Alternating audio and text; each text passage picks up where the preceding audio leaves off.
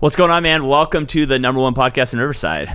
What's going on today, dude? How are you doing, man? It's, thank you so much for having me here. Of course, dude. Of course. It's uh for this crazy rainy day that Yeah, like yeah. no one wants to leave their house. So appreciate you making the time to come out here. Yeah, rain, rain in Riverside's a, a rare thing, you know. I, but I- uh, and, and no one knows what to do right now. like the whole city's shutting down. I've, I've relatives across the country texting saying, "Are you guys okay?" Oh, I Is know, it- right? That's like, it's Isn't it fine. crazy? Like the news are like it's like all this craziness, and they're like three people died, or like in the whole state of California, Yeah. three people died. Okay, cool. Like Yeah, like Chicago's funny. like that's every hour. Or we Like, had the hurricane this. We had the hurricane this summer. That that hurricane that was supposed you to be like the worst weather of all time. I was like, this was nothing. Well, and I, am originally from New Orleans, Louisiana. That that hurricane is that, that what we had here was nothing compared to what we what we see A there. hundred You know? So Dude, this is like this is nothing. If you don't, if you've never left California, you don't know what rain is.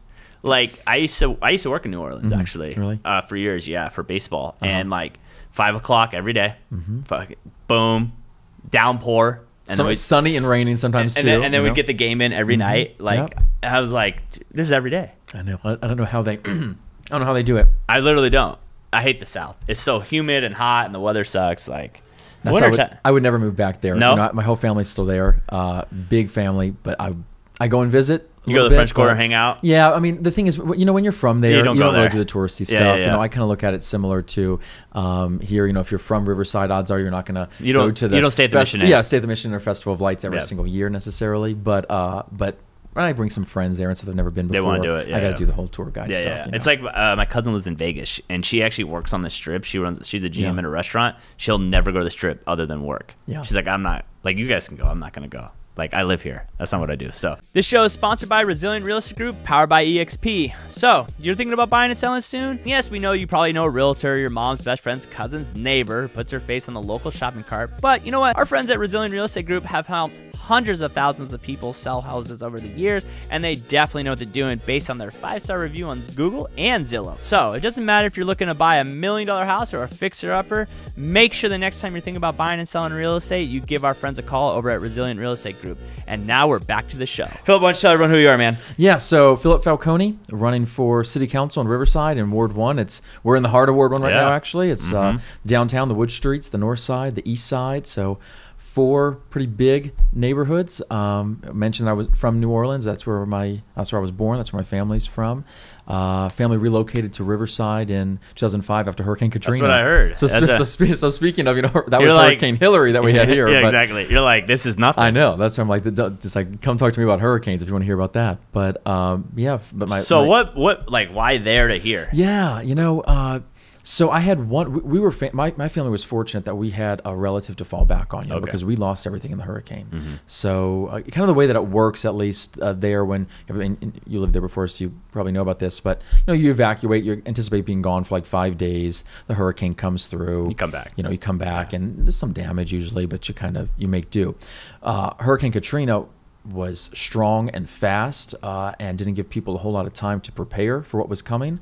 Uh, so when it when it finally when news finally broke that it was coming and it was going to be pretty significant people just had enough time really to get their stuff and go and, and that's what my family did. So you pack five days worth of clothes you leave uh, we evacuated to houston texas and then when saw how bad it was uh, we ended up losing everything. We had four feet of water in our house uh, and that's just enough to you know destroy Yeah. everything and you have people have to think that you know this is like this is nasty sewer water Oh, yeah, it's I mean, disgusting. it's it's bad. So uh, so destroyed everything and uh, i was eight years old at the time and my parents decided that for me and my two sisters i'm one of three kids that they didn't want to move back. And you know every 10 years you have another major hurricane that you in many cases lose everything and rebuild. So we had one uncle a relative that lived out here. My, my mom's brother lived in, in riverside and he had moved out here 10 years prior from new orleans never knew what ended up bringing him out i knew he wanted to go to california and leave new orleans but i don't know how he settled on riverside it's a question i still need to ask him but we moved in with him and uh, the people of riverside just wrapped their arms around my family and gave so much to us in our time of great need. They gave, I mean, clothing, household Yeah. items, gift cards. I remember, coming home from school. I'm uh, when I was in the sec- second grade, and coming home from school back then, and like every day there was boxes of stuff that people were donating to my family, Mm-hmm. and it, that still sticks with me. I mean, that really is like a driver for me. Yeah. Um, in terms of what this community gave to my family. Um, but but but came to Riverside because of a, of a family member that lived Yeah. here already. People don't understand how like those like when I was there in 2000 and Yeah. in New Orleans in 12, 13, no, 13, 14, 15, like people are still recovering from it. Oh, yeah. Mm-hmm. Like there was neighborhoods still that like never recovered because it, like they didn't have the money or whatever. Yeah. Like dude, some of those floods they just ruin towns. When I tell people, I mean, of course, I'm a little biased, but I think this is the most significant natural disaster in modern U.S. history. I mean, and even just for people that uh, I'm not going to go, not going to geek out on you on these all these infrastructure things. I'm an, I'm an infrastructure guy, so even when thinking about just the way that the infrastructure of the city. Every, everything just really failed. The government failed the people. The, the infrastructure failed. Of course, there was just the, the weather aspect of it. Uh, it really, it really messes up people. And now here we are, almost 20 years later, and still, It's still not, some people have still never recovered. And Mm-hmm. Yeah. if you and the crazy part is like is what people don't understand is like if you didn't have that family member or Yeah. then it's like you're behind the eight ball for years. And that's what I'm saying. We were we were lucky. Yeah. You know, uh, my my family was lucky that we had someone to fall back on. But there were so many families who they had absolutely nothing. I mean, the Superdome became Yeah, a homeless house. shelter. Yeah, exactly. it was a homeless shelter for, for for months. I mean, after the hurricane. So we were fortunate where we didn't have to rely on that. You know. Um, so, so that, that I always say is kind of what, what drives me. I mean, that's what gets me out of bed each morning. The people of Riverside gave so much to my family, and how do I repay this? And so from that time, when I went to Riverside schools, RCC, UCR, CBU, I said I hit them all except La Sierra, um, and and then went to work for Rusty Bailey, the previous mayor, Patricia Lock Dawson, the current mayor, uh, served on the city's cultural heritage board.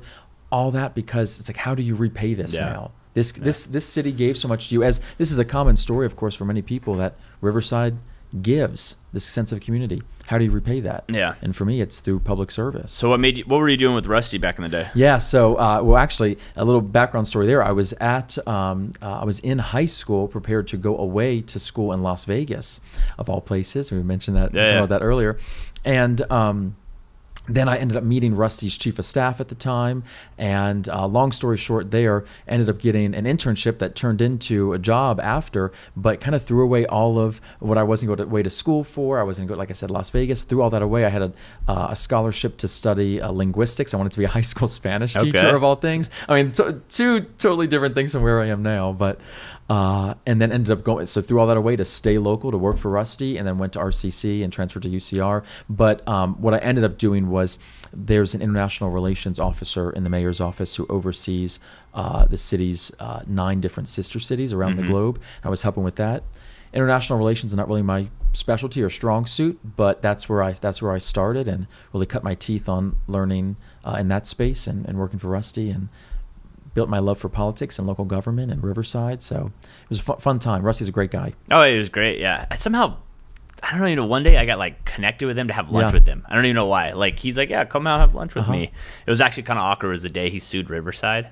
Well, there's It- that. it was know. that but day- he won. He won his It was lawsuit. it was that day. I remember like walking over, being like, I Yeah. walked into his office. I was like, "Do you still want to have lunch?" He's like, "Yeah, Yeah, sure. what sure, does it matter? Like, I mean, we're gonna keep working." I, I was I was working for him at that time. I remember I remember those days. I mean, I think back to really a lot of kind of the more pivotal moments in recent Riverside history. And I think, gosh, you know, I was I remember these days. Uh, you don't remember every day, of course, but Yeah. you remember some of these these monumental ones. And I was I was working for Rusty at that time, and uh, yeah, it was a wild time. But he did end up winning his lawsuit. so Well, the thing is that. crazy about Riverside is like it's so big and like a lot of people didn't ever even know about it. Mm-hmm. Yeah. Mm-hmm. Like if you don't pay attention to what's going on in politics, like you have no idea anything that's going on. Because like I grew up in Orangecrest, I lived here my whole life, and like my parents never were involved in the politics and Mm-hmm. any of the things. Like they, did- I mean, I have no idea what was going on. I never even came downtown when I lived in Orangecrest. Like we I- stayed I, up hear there. a lot of that. I hear a lot of that. You know, and actually, what's funny is I talked to you know my parents, of course, who were who were born and raised in New Orleans, and they they just compare like the way that city government is there versus here, Mm-hmm. and you know here in in Riverside.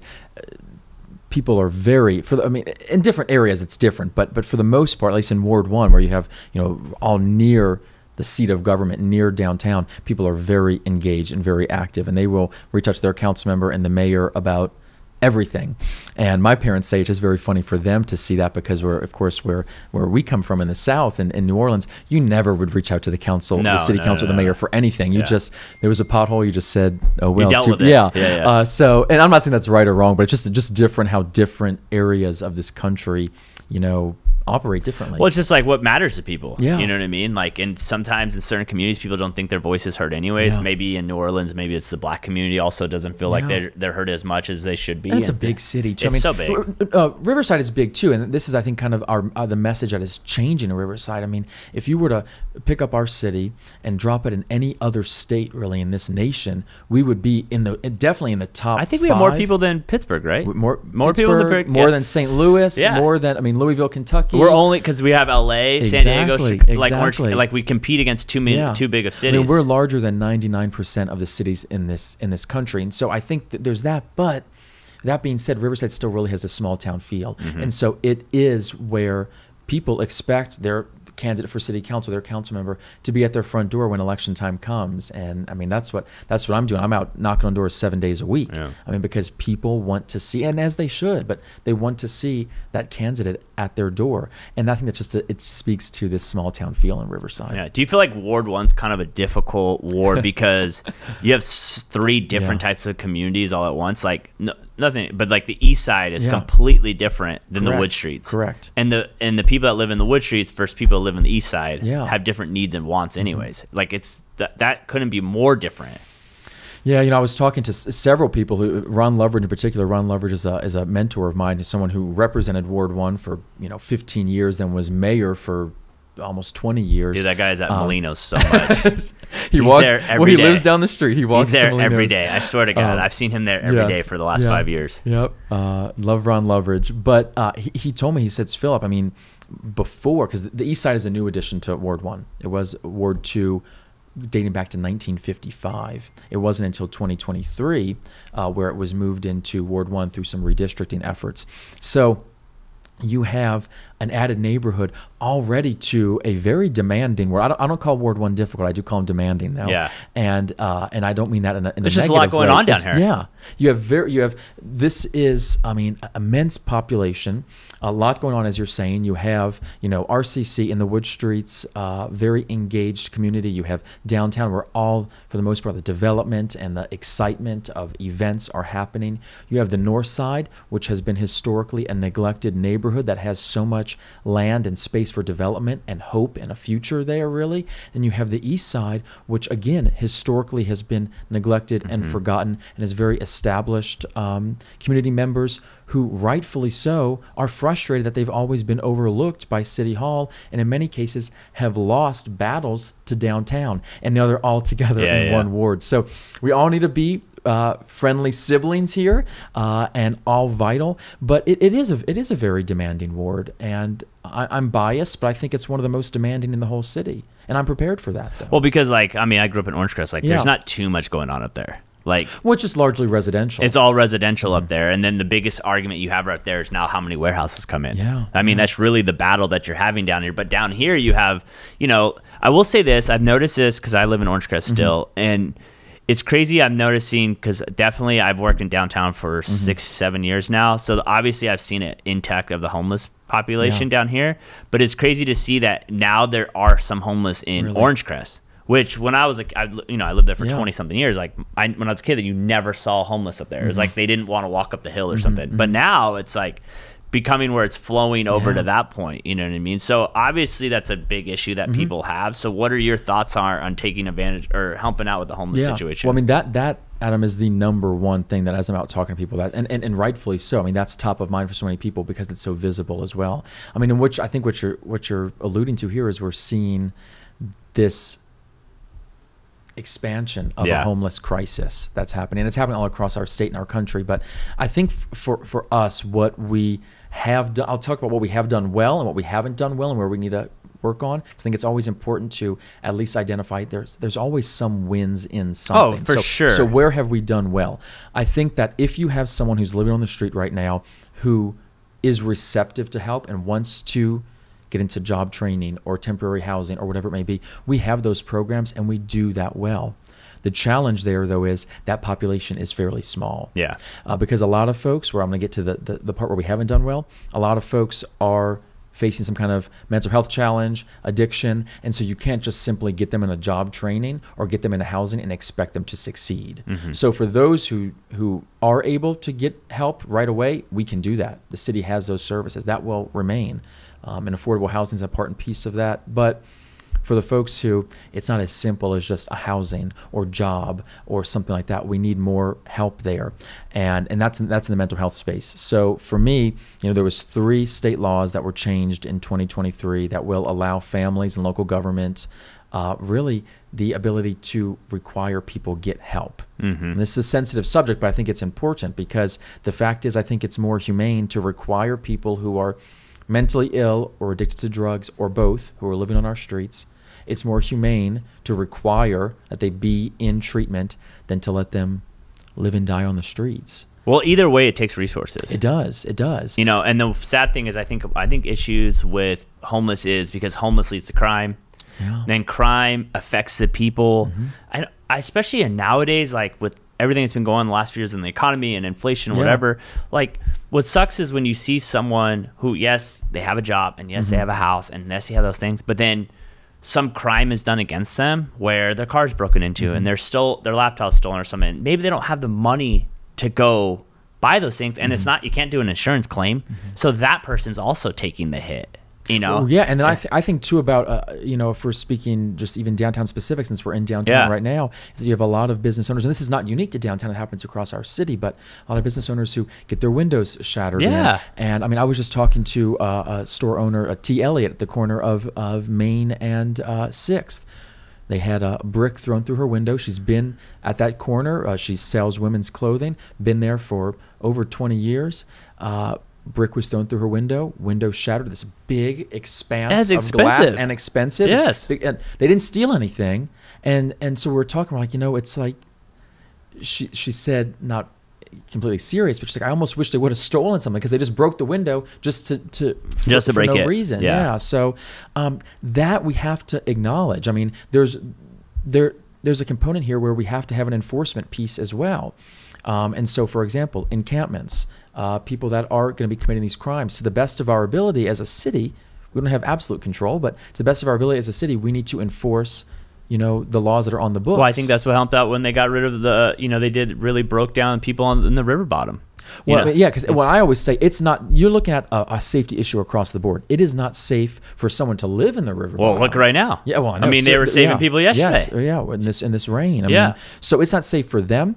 Uh, it's not safe for the, the the homeowners that live up against the river who are threatened by fire. Yeah, 100%. Um, and it's also I'm an environmental person too. I'm, I'm a conservationist by nature. It- it messes not- with everything down safe there, for yeah. the environment. Yeah. So I, I tell people, you know, if you are looking at it from a humane approach, from an environmental approach, you wouldn't want people living in the, in the river bottom either. Mm-hmm. You know, so yes, they, they, they, they we have an anti-encamping ordinance that they've enforced there. The challenge is in many cases, then it, it, it people now it flows onto the streets, Yeah. Mm-hmm. and then it's like, what do we do with them there? You know, and I just it's not a problem that can be solved overnight either. Well, and I'm not here to tell you as as one council member No, that I would have the ability exactly, to say, and, I, and that's why I always try to, you know, we need to as as voters and as Riversiders manage our expectations, knowing that if anyone comes before you and says, as a candidate or even as a council member, that they alone have the solution, They don't. They're lying to Yeah, you. yeah, 100%. You know, it's we're, we all have a role to play in this, but no one person, at least in my view. even even in maybe Riverside, I mean, Yeah. the state of California really is the there's is a, a big there's a player. lot that needs to change at the state of California because, um, you know, it, it, a lot of laws that were probably passed with well and with good intentions are now coming to a head. Mm-hmm. Yeah. I mean, we're seeing a generational impact of the closing of mental health institutions in the state of California way back decades ago. That's coming to a head now. Yeah. And people say, "Oh, well, that happened, you know, in the '60s and '70s. Why are you still talking about that?" We're talking about it because it's now coming to a head, Mm-hmm. and that shows you that laws and legislation have generational impacts. Well, I, you know, I don't know if people realize this. Actually, it's crazy because I'm in housing, right? Sell real estate. Yeah. It's like we, when the market crashed in 08, the big reason why we crashed is because we didn't have people buying houses, Mm-hmm. whatever. Right? If you would go back 33 years as the average person to buy the first house, that year there was a decrease in people having babies. Well, Mm-hmm. what came out the year? It was that oh, people could have abortions. And so something like that lowered the amount of people in this world that much, which then took away the the the buying pool that would be buying their first house in that moment. Mm-hmm. Yeah. And so we lost that like and it's like track it's like it's like what happened then is going to affect now. Mm-hmm. It's not that, that it's not there's always a cause and effect of everything. and I always and sometimes we don't even know what the effect is yet. Yeah. Oh, of course. I mean, uh, there very well may be decisions that are We happening now, they're 30 that years. we just won't Yeah. know. And, and and two things on that point. One is I think that it shows that you know these things take time to, to really come into effect. But number two, you know, I talk about the importance of getting the younger generation involved in politics, and that's because we are going to be the ones that are going to be growing Yeah. old into mm-hmm. these into these decisions. So the decisions that are happening now by folks with all due respect to folks that They- have been in government for 30 years or whatever, you know, they're not going to be in government for the next their 30 effects years. don't cause. You know I can waste no time, no time, cause I gotta keep it tight. Eyes on the price. Mm. You know I can waste no time, no time, cause I gotta keep it tight. I'm in my bag, my bag, my bag, my bag, got my eyes on the price. Mm. You know I can waste no time, no time, cause I gotta keep it tight. Give me the bass, give me the beat. I'm in my bag, this round is on me. Give me the bass, give me the beat. I'm in my bag, this round is on me. Give me the bass, give me the beat. I'm in my bag, this round is on me. Give me the bass, give me the beat. I'm in my bag, this round is on me. Yeah. that that's something I think in, if you want to talk about government throughout the United States, like it, it they're too old. They're our Congress members, our senators are just too. I mean, shoot, what was it? Barbara Boxer was that her name? Senator. Dianne Feinstein. Dianne was, it was- Feinstein. yeah, from Feinstein. 1992 Yeah, until I she mean, died. she she she didn't even know what was going on, and she's still technically a senator. Like, Well, you know what I, mean? think what I look at it as is that well, first of all, I'm in favor of term limits at every level of government. I think should that be. you should not be like I'm saying. I'm not going to be on this. I'm not going to be on the city council longer than two terms. Yeah. Do you, even even being a young person, two terms and then move along because even if you're young, there's benefits to getting new people in there. So I'm in favor of term limits across the board for the most part. I think two terms, everything. Congress, it's different because it's a two-year term. So if you're only there, you should for bump two, it to four and then do and two just make it terms two, and then yeah. be done. The the challenge federally is that the way that our system is, and now it's like Philip's government class here, Yeah. that's what it's becoming. But the way that our system is is that we as a as a federal government reward seniority. 100%. And so, you know, in the instance of of Dianne Feinstein, the longer she stayed, the more important uh, roles more that she she got had, on and then she- committees, exactly. and that then usually benefits the state you represent. 100%. So they can say to their voters, you know, keep electing me because the longer I'm pull. here, Yeah. I can help you more. And people have different mixed emotions on that, you know, but but that on paper is how our government is structured. And so if we were to stop incentivizing seniority, Yeah. we, we would see I think people not staying as long. I mean, well, I mean, we don't even need to talk about the back end, back end deals that happened too. Well, there's there's all that. I'm just I'm just trying to stay purely based on what's I mean- on what's on paper. I mean, I mean, city council has you no control on yeah, that. like hundred percent. I don't, I don't think you're gonna become a multimillionaire being in Ward One. No, and that's what people people say. You know that I'm just in this for money or whatever. Actually, I, you know, I was working for Patricia Lock Dawson. Uh, I quit that job to run for city council. I mean, I teach at CBU as well, but uh, this city council job is going to be a 50% pay cut for me. So this Yeah. is, I guarantee you, That was- I'm not making it rich off this I job. remember. So when I went to lunch with Rusty Bailey, I Yeah. paid for lunch, and he goes, "Why are you paying for lunch?" I'm like, "I, I know you make eighty-seven grand a year, so like I feel and, and that, guilty." and that and that that's the person that makes the most money. I was like, uh, yeah, exactly. I was like, I feel guilty. Yeah, I was like, don't worry, I got you on lunch, dude. Like, and, and it's because for, for city council, you know, we uh, uh, as as a city have approved that city council being a part time job. Now I say it's part time. It's part time pay, full time Full-time, oh, work, oh, 100%. especially in Ward One. I mean, I'm prepared to commit at least seventy hours a week to this job. When I was working for Patricia, I was physically in the office seven days a week. Well, you were everywhere. I was easily putting Yeah, in yeah. seventy hours. So. Eh, But but for me, I enjoy that though. Yeah, it yeah. genuinely brings It's me different. joy. Yeah. So that's that's okay. But what I'm saying is that you know this this city council role will require that too. But yet the pay is not commensurate with 100%. that. Uh, but also, I'm going into this making that decision. do you think we need to raise how much government employees work, or uh, sorry, employ, how much government employers make? And then we would take more people out of the private or the public sector, private sector, and bring them into the public. I I think it depends on what you're talking about. So for, for certain employees, I mean, if, if you're a non-political employee, for the most part, you get paid pretty well. You know, so you have you get good pay, you have good benefits, and, and there's always things that can be that can be worked Yeah. on in that space.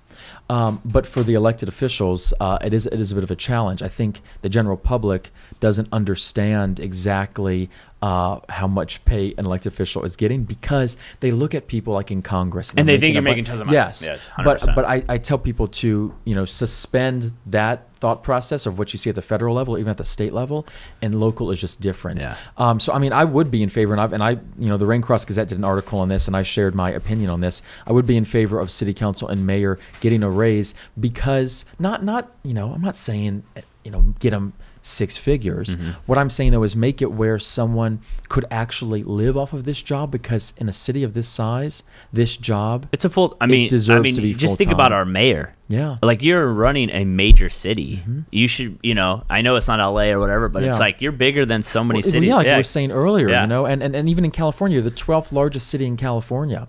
So when you look at all of our cities that are even, you know, even if we were to look at, you know, 10, 11, 12, 13, the, the ones that are immediately around us, you're talking about Anaheim, Irvine, um, Bakersfield, uh, um, Stockton, these ones that they are, their city councils and their mayors are in a totally different Mm. bracket than we are and um, and so I mean that's not really a platform issue for me, but it is something Yeah. that I do think about. And if people were to ask me, I'm honest with them and say, city council in this town deserves to be full time. Yeah. Adrian, could you uh, put my phone on vibrate, please? Thanks.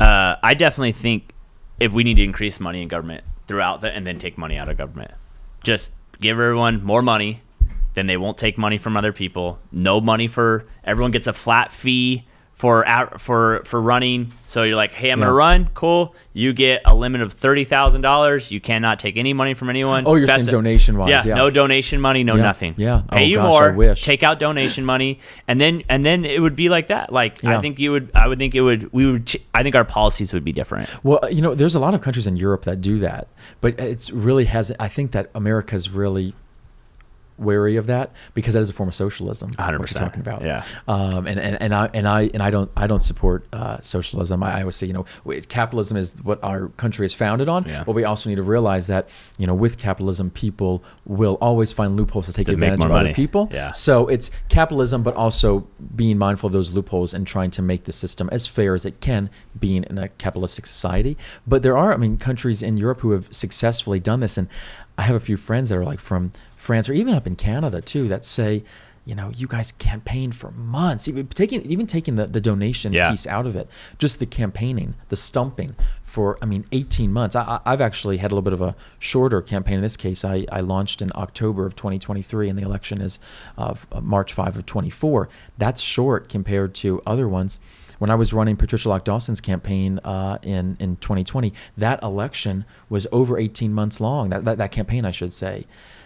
And in places like Canada, you can only campaign for 30 days, and that's That's it. what I'm saying. Like because because then if you're trying to go re-election, Yeah. how much time are you going to cut in to when you should be doing some That's work true. Mm-hmm. that you're trying to just take the time to get re-elected, and then you know then every politician goes like, you Yeah. need to vote me back in so I can get all the things I said I was going to get done. That requires, though, a really uh, well informed and engaged voter base because if you only have 30 days to get the information, you need to pay attention. You need to be paying attention. Which then maybe we all would pay more attention. I, I wish I wish our society would. Yeah, and, I mean, I, am and- still knocking on doors right now. I mean, we're, we are in ballots are, are being mailed out to voters right now. And people still don't know. People are like, there's an election coming up, and I understand that our lives are busy. I get it, but the fact is, I always say this city council role in particular is so foundational to your quality of life.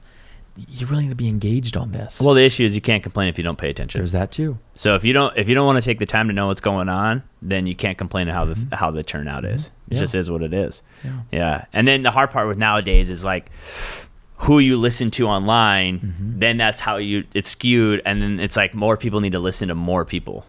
I, I, people don't listen to enough options out Well, there. and and our and over the last several years, our our way of thinking has become so polarized in terms of everything's either Democrat or Republican. Yeah. And I always urge people that you know you should be at, at the you know we don't run as a Democrat or Republican at the city council level.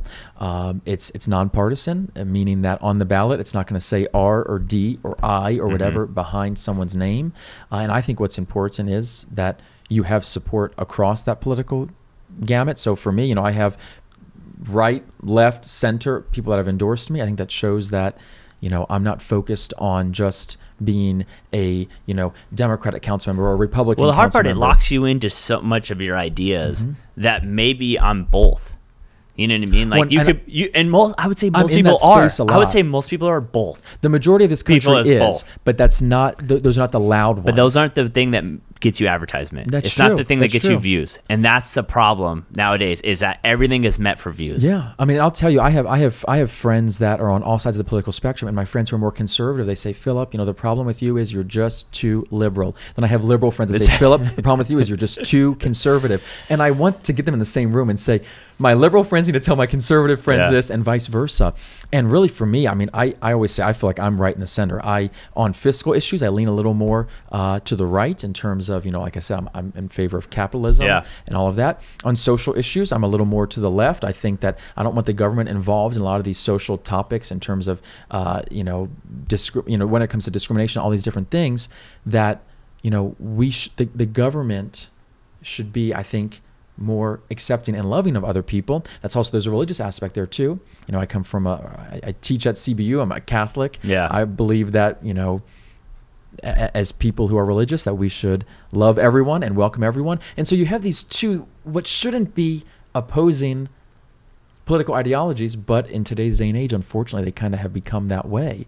Um, but I feel like I'm I feel like I'm in the center. Yeah. But of course, like I said, people that are on one side will Well, because they only want to listen to the things that you don't agree with them Well, on. yeah. And then that thing is like when most of the time I always say to people, I'm like, do you even care? You don't even care. It doesn't affect your Well, life. it's about the You- tribe. You, It's don't even you you don't know. even care. Yeah. You don't even know what's really going on. Like What's the soundbite? You know, when I tell people, I, I can't give you uh, a soundbite that's going to, you know, uh, be be music to your ears necessarily because I don't speak in terms of th- I don't speak like that. So I tell people instead of asking me, "Are you Democrat or Republican?"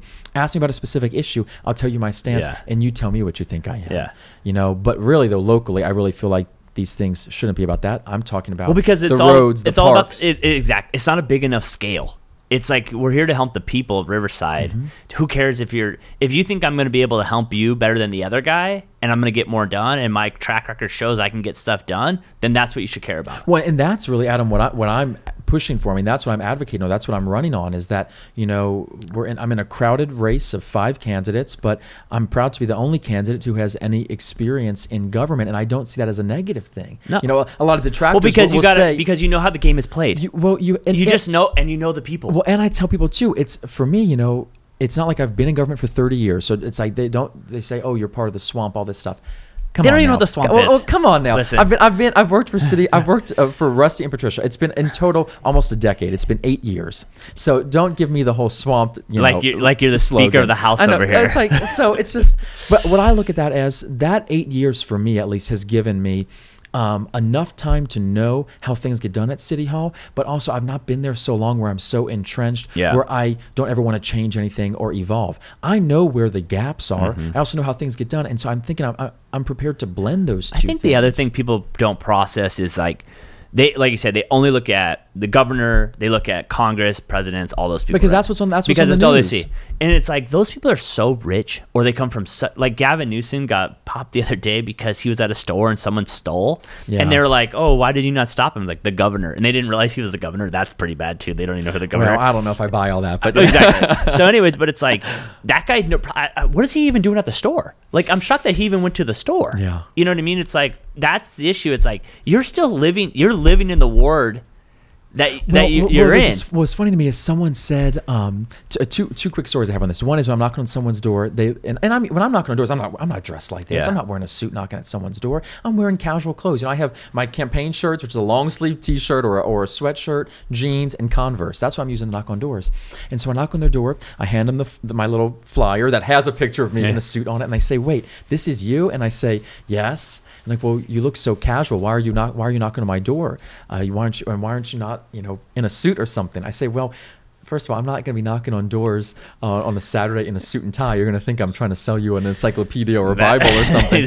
They're like, But- "Where's your bike at?" No, seriously. but but no, I mean this is this is my neighborhood. And number one, if you are a candidate who's who's worth anything, you should be out there yourself knocking on doors.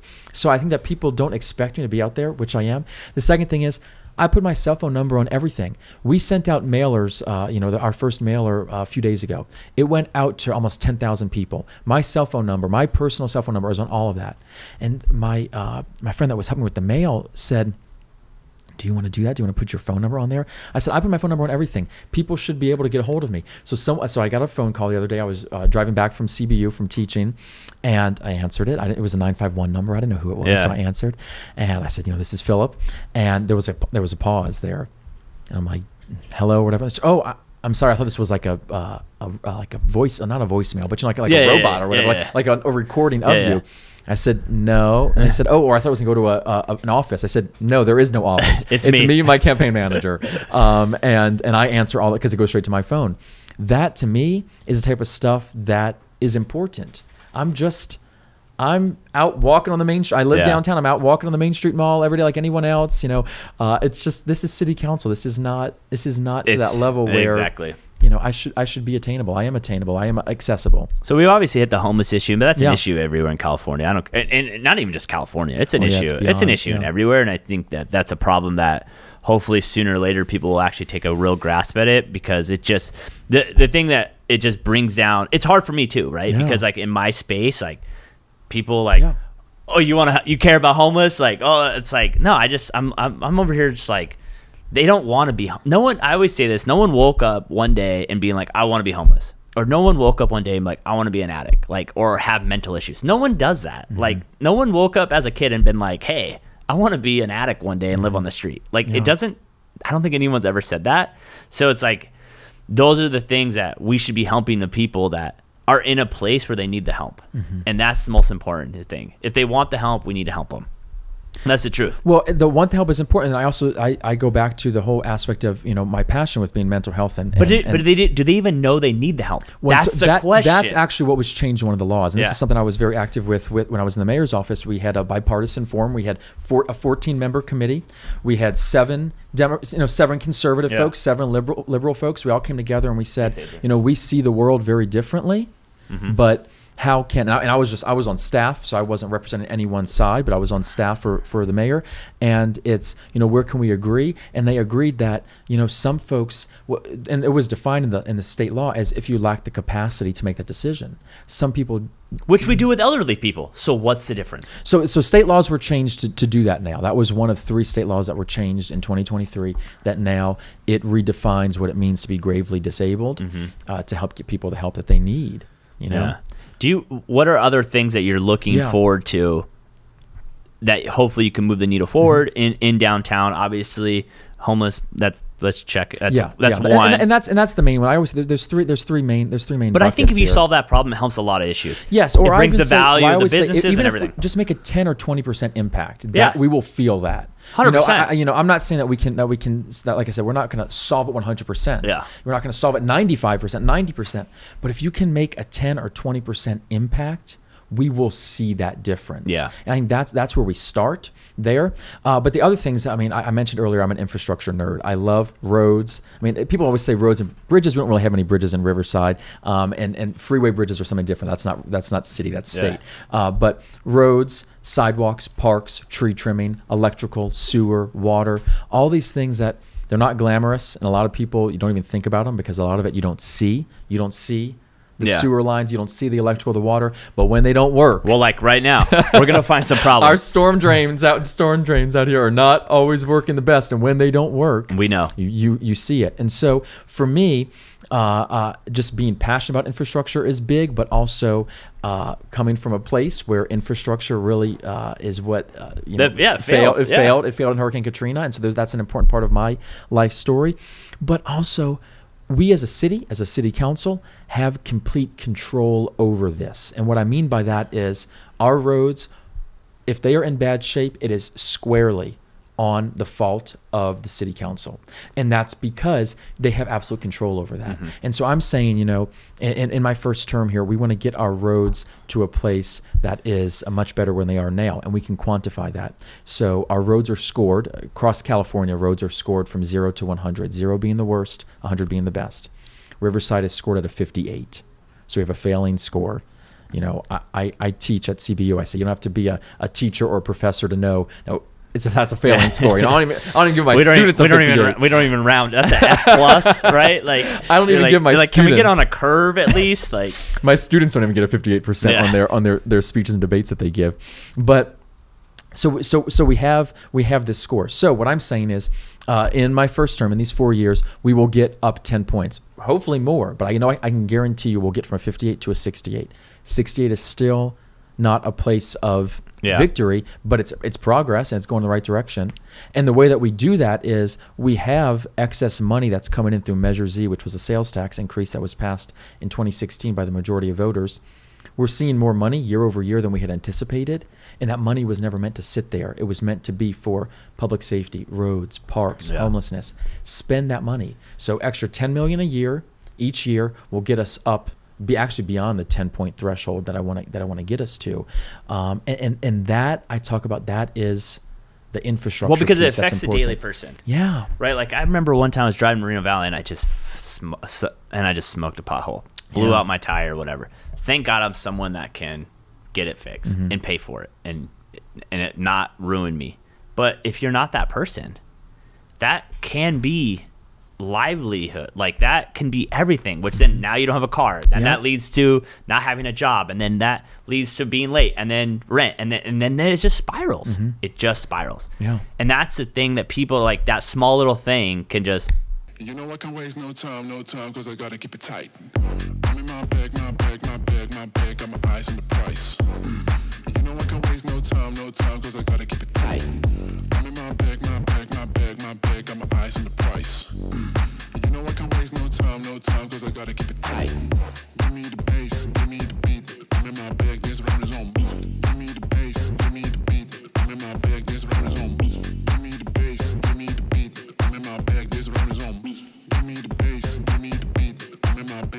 this round on me. Well, and now it's, I mean, like we've been talking about our common thread here of this rain, rainy weather we're getting, all these, these storms that we have. That is our roads. That will that hurts the roads so, Oh, so much. Rain and water is the worst thing those for cracks blacktop and then for just- asphalt. dude. Yeah. So we're, so we have some real bad potholes that are that we already had some. Yeah. but now we have now we have a lot more from this weather. And so for me, that's what that infrastructure piece is important. And I tell you that when I go out knocking on doors, number one, yes, is homelessness. But number two to that is overall city services, getting the trash picked up on time, getting the roads repaved, getting the parks cleaned up, and those are all things that we can do. That, Yeah. And so that that's that. I'm very forceful about because I know that is something I'm telling you I can deliver on that. Yeah. Homelessness, there's more interlo- Oh, that's intertwining state things. and I mean, money. we want we want to deliver on it. Yeah. Don't get me wrong, but there's more interlocking aspects of that. Infrastructure is Yeah. pretty much all on our shoulders. How do you think you're going to balance? Like we talked earlier about how downtown, Yeah. The east side for sure is way mm-hmm. different than the wood streets and downtown. How are you going to balance handling three different style of wards or not wards, but cities, Neighborhoods, neighborhoods, yeah. in one ward? Yeah. Like how do you how are you going to balance that stuff? I mean, I, I, I go I go into this with with excitement. I mean, I'm prepared to do this. I think it comes down to no matter how different these these four because we have four neighborhoods even too because even the north side is different from of course Oh, north side is different. Yeah, 100%. So really, these four neighborhoods, how do you balance their needs? And I look at, despite how different they all may be, what they all want is they want a council member who listens, who shows up, who responds, and who tries their hardest every day. And so that I think that's what I'm committed to. But we also know that the common thread there is the infrastructure piece, the the the walkability, bikeability, cars being able to get around. All that's important. But but really, I, I'm very fortunate that I have support from community leaders in each of these neighborhoods who help as as mentors and as advisors on this. I mean, in the East Side, Mary Figueroa is very prominent. She's uh, been a longtime supporter. She helps with a lot of, you know, saying, okay, well, here's a view of the East Side, for example, uh, downtown. I mean, I live in downtown, but also have Ron Loveridge as a downtown leader, the Downtown Neighborhood Alliance, these different folks. Uh, Wood Street's the neighborhood I grew up in. Have uh, leaders there that are supportive. The North Side uh, been very active with uh, the North Side And the north side, plan. if you kind of split north side in half. Because you have the, the new communities on the left, Yeah. and then you kind of have the construction or the warehouses, and then and then the Well, and definitely the older city. So that that Hunter Park area that all was now moved to Oh, to Ward so they Two. moved that to so Ward that two. moved- so that was part of the switch there. So uh, that used to be in Ward One. Now that moved to Ward Two. So that's the more of the industrial part. So if you're thinking like um, you know kind of like Third and Spruce, Got Th-. Columbia, a lot of that has now been moved over to Ward Two. But I think it comes down to you just need to be a council member who is 100% dedicated to this and working as hard as you can, and and the rest of that will really sort itself Yeah. out. So for you, are you guys are you concerned about getting different businesses in downtown? Well, I mean, it's I'm not. It, it is a focus of mine. I'm not concerned in terms of I'm worried that they're Yeah. not going to come. I think that we are seeing uh, that people want to be in downtown Riverside. For I mean, everything from Yeah. businesses to to to consumers. But I think what we have to do though is, you know, th- th- there's a saying that um, that a mentor of mine says that you don't have to be sick to get better. You know, we don't have to be on our deathbed Yeah. to, to, to do better. And I think that we do have space to do better in the in the business sphere for downtown Riverside specifically. Uh, a lot of that is I think that our downtown businesses, in many cases, just don't feel supported. Yeah. They don't feel supported from whether it be the city council, from city hall proper. Um, you know, we have a downtown uh, association that, that Oh, downtown involved businesses in that, pay yeah. into. Uh, there's always room for improvement there, and so I think that we need a, a mixed bag approach. One is how are we attracting businesses to Ward One, to Riverside, to downtown specifically, based on the question you ask, but also we can't forget the businesses that are currently here have, yeah. now, Yeah. and we have to do both. And so I think that really what that comes down to is ensuring safety, Yeah. ensuring that there's access to um, you know programs and, and grants and these things that are important, but also the homelessness and crime is a big piece of that Yeah. too. I think you know how you. I, I mentioned earlier my friend who had her window broken, and I said, you know, how can I help? And she says, well, there's there's two ways. One is in the short term, in terms of you know making sure that I can get through all- any kind of necessary processes to get this replaced. Yeah, yeah. Connections that can help with grant funds, all Yeah. of that. But in the long term, the way that you help is stop this from happening Yeah. And that's that's that's a tough pill to swallow because that's that's a lot of weight on one person's shoulders when I don't have absolute control over it. But but but she's right. She was right, and she is right. Is that you know changing the system to do is. I good as we also think the issue is is people look at business owners as so rich, kind of like politicians, and so people don't understand like that two thousand dollar window is definitely something that's not calculated in that person's budget, Mm-hmm. and but they don't understand that like they think oh you own a business like Yeah. same thing happens to me they're like Yeah. oh you sell all these houses and you must have tons of money and blah blah blah but it's like I still have four employees Yeah. and I still have an office and I have all this overhead and I wasn't expecting this something to happen or mm-hmm. something to get stolen or. Yeah. whatever and it sucks. I love that analogy, Adam, because I think that actually there's a misconception there, both in politics and in business. Yeah. And you know, people what they'll tell me is that you know, oh, you've you've only worked for City Hall, you're not a business owner, so you don't know what it's like to be to own a business and to support business. And I say, I don't think that you have to have been a business owner to understand the challenges that people face and to be able to relate and to want to help them. I mean, when I was working in the mayor's office, I was in, in large part the, the go-to person for a lot of businesses in the downtown area because they couldn't get help in other places at City Hall. They knew if they got a hold of me, I would make, make things happen. Or You make know, call, I'd make yeah, things yeah, happen. yeah. And um, yes, I mean, similar to how you know business owners are not all rich, politicians are not all rich, people that are in government are not all rich, and uh, I think that there's there's some mind expanding and learning that can be done there on both sides. Yeah. And, and, and to say that you don't know something because you've never done it doesn't if you if you have an open mind then then you'll learn or you'll have the right Well, people and yeah. like there's a lot of stuff I don't know how to do. That's why I have Adrian. I have no idea how any of this works. But then people will call me be like, "Hey dude, I want to do a Yeah. podcast. How do you do?" And I'm like, "Uh, pff, "I have Yeah. no idea. Call Adrian. He, Yeah. I, I'm not smart enough to know, but I know I'm smart enough to hire someone to do it." you I just, I just, my mind is not in that, in those ab. I just don't see the world in those absolutes Yeah. like that. People just see it as if you've never owned a business, you're not a business owner, therefore you don't understand business. If you've never done this, therefore you can't do it. I just, my mind is not that closed. Mm-hmm. I just don't think like that. Um, and and I think it's unfortunate when you people just do the, think like but you that. gotta just put the right people around you. Yeah. you know what I mean. That's it's like I was having a conversation with my employees yesterday, and she was like, "Well, I don't want to ride your coattails." I'm like, "Well, you better." And she's like, "What do you mean?" I go, "You're so broken." And she's like, "What do you mean?" I go, "I am riding people's coattails.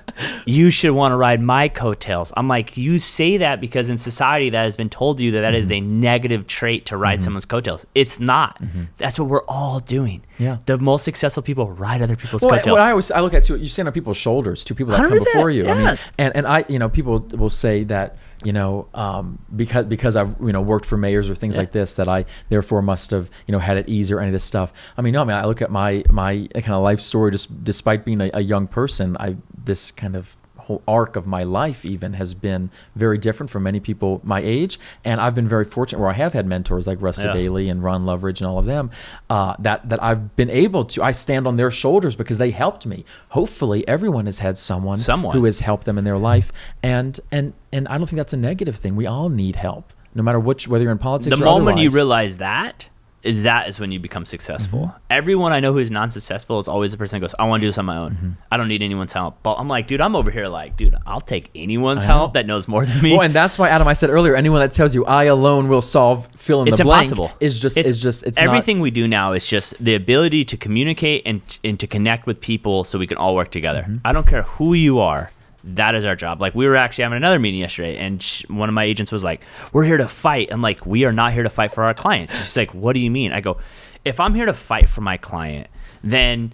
They want this house. The seller wants to buy mm-hmm. this house. Okay. If I go in blazing, fighting, and I ruin the deal, did I solve the problem my client wanted, aka this house? No. My job is to protect my mm-hmm. client and to get the deal done. Mm-hmm. I said, you go in blazing. Same thing I think happens in politics. I'm here. You're a Democrat. I'm a Republican. I got to go against you just because you have a D or an R on your mm-hmm. shirt. It's like that's not the game. Like it is to work together to the common good to get things done. Yeah. So we move the needle forward. but that but that takes some awareness of that if someone really wants to get things done. hundred percent. and that's what it comes down to. You know, I'm not I'm not running uh, to be on the city council to be you know the council member for the Democrats or the council member for the Republicans or the council member for people who you know love homeless people or hate homeless people, whatever it may be. I mean, there's all these extremes. It's crazy. Uh, you know, I'm running to be the council member who on day one can hit the ground running, which is what the people of Riverside and the residents of Ward One deserve, but also knowing that we have other council members up there, and people always ask me this question: How are you going to to work with them? I'm gonna say I'm gonna work with uh, people that are very different sides of almost every coin. 100%. Um, I'm gonna work with them like I do everything else. Is that we find common ground. I always say you find common ground where you can find it. Where you can't, you stand your ground. But odds are you can always find common ground on something. Yeah. And usually infrastructure is the most. Well, because if you don't agree with infrastructure, like, come on, dude. I mean, we, we even saw that federally. Federally, you had a very divided Congress come to agreement on Infrastructure. funding infrastructure. Um, so, uh, but it's well, and I think it also helps. Like, it helps. It just makes a community nicer Yeah. and raises pricing. Like, no one wants to drive in an area that they don't feel like it's the price. Like, I care. I always tell people, no one cares about money. They're like, oh, I do. I'm like, you don't. You just want to feel like what you're paying for Yeah. is what you're getting. Yeah. So, like, I think that's a struggle that the Mark has in downtown. I don't know anyone that wants to pay four thousand dollars for a two bedroom apartment. I'm sorry.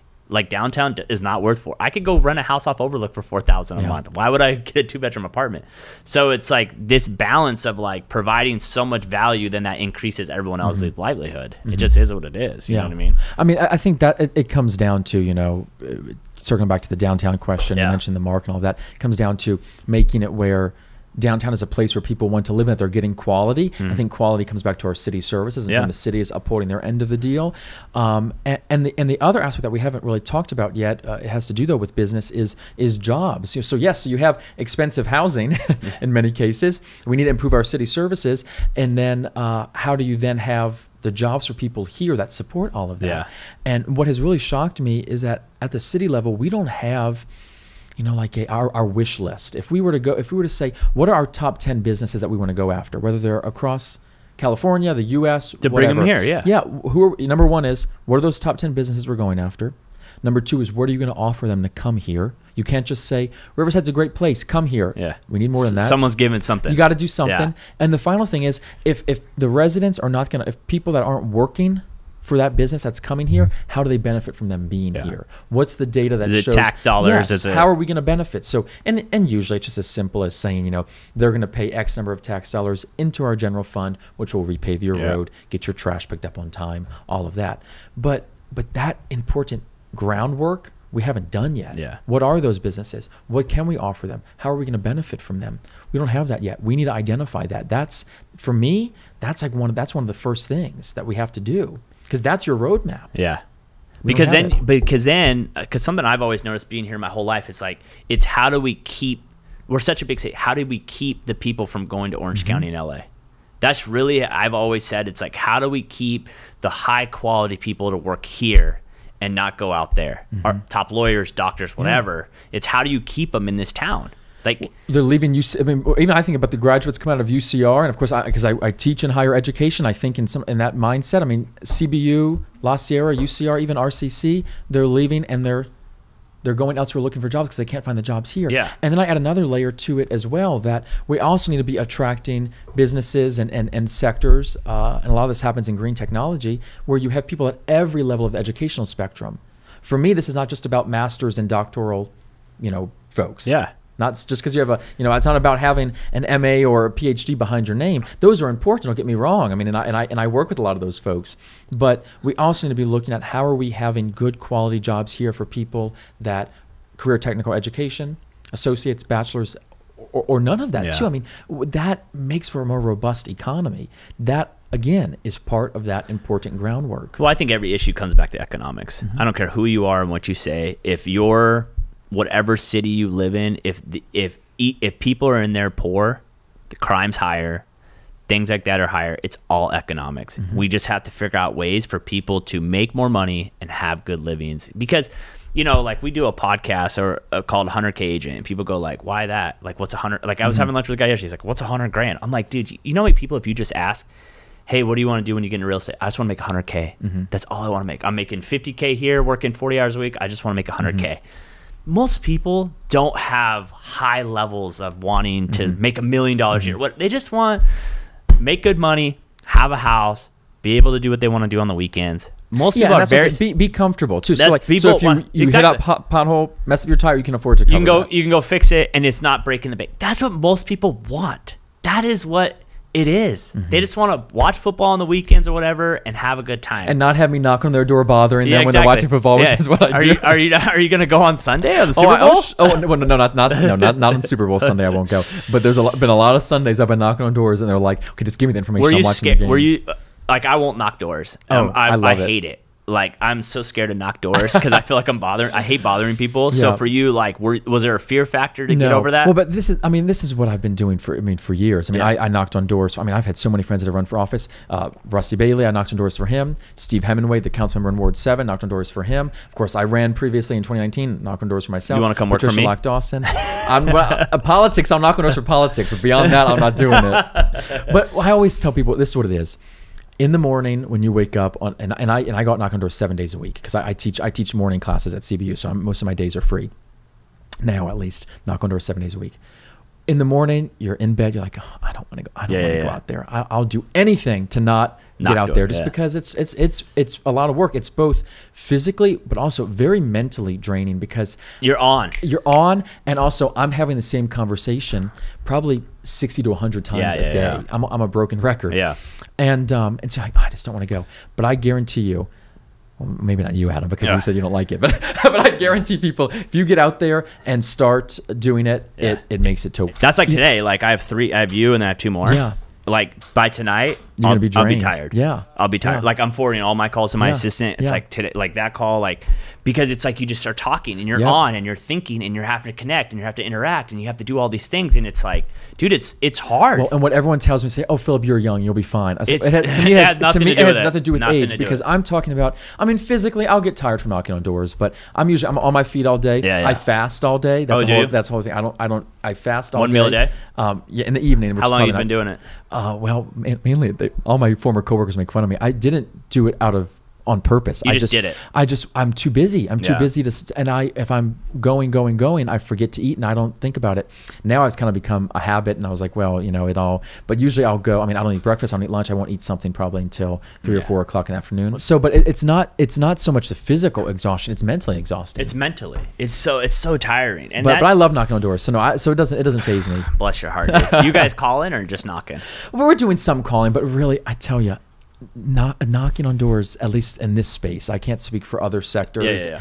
This is where it is won. Yeah. I mean, uh, Going face to face. It is, Yeah. and people need because you know they'll get a mailer from me or they'll get a text from me or even someone on the phone, and they'll be like, "Yeah, I don't know," but me at their door.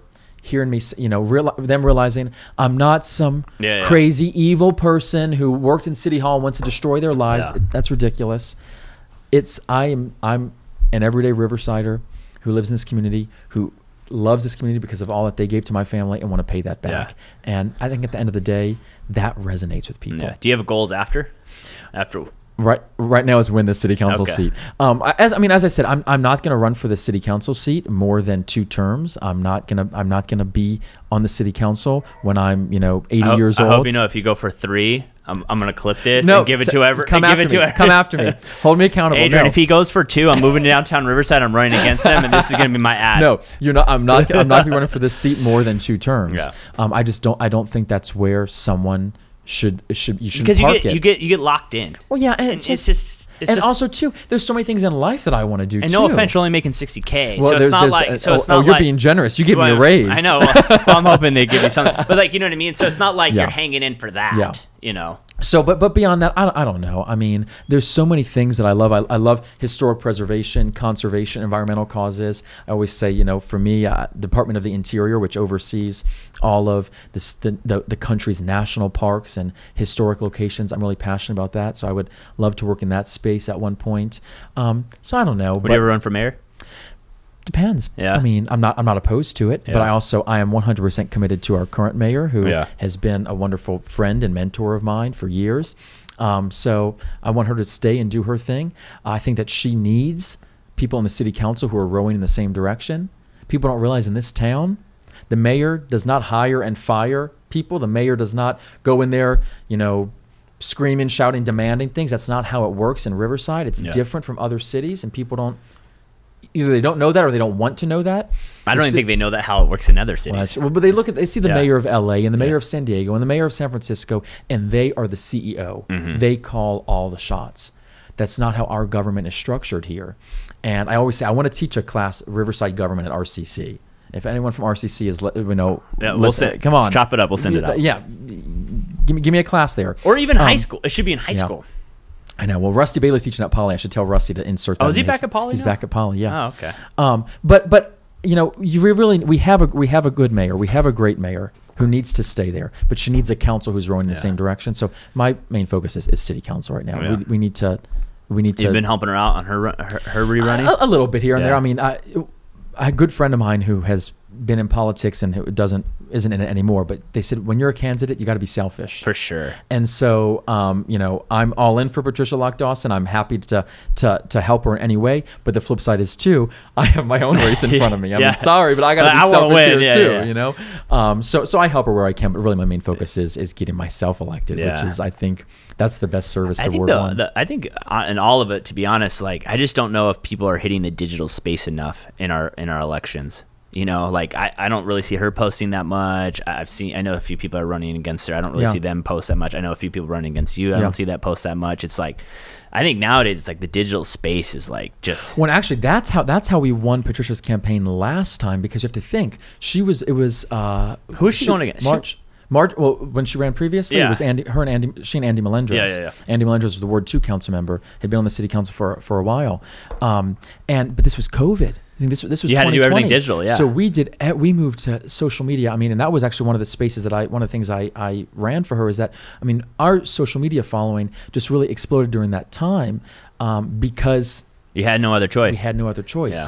Uh, now it's a little bit different. We can be out there knocking on doors and things like that. Um, I, I'm doing a lot on social media, but I, I, I still am a little more old school in terms of knocking on doors, uh, Yeah. despite my youth. How old Uh, are you? Uh, 27 years old. Does- so has anyone get, brought that up? yeah, they bring it up and they like to say this, that, or the other. And I say, you know, I I look young, I look younger than I am, but at the end of the day, I think when you look at the demographics of Ward One, our largest demographic is 18 to 35. I'm right smack dab in the center of that.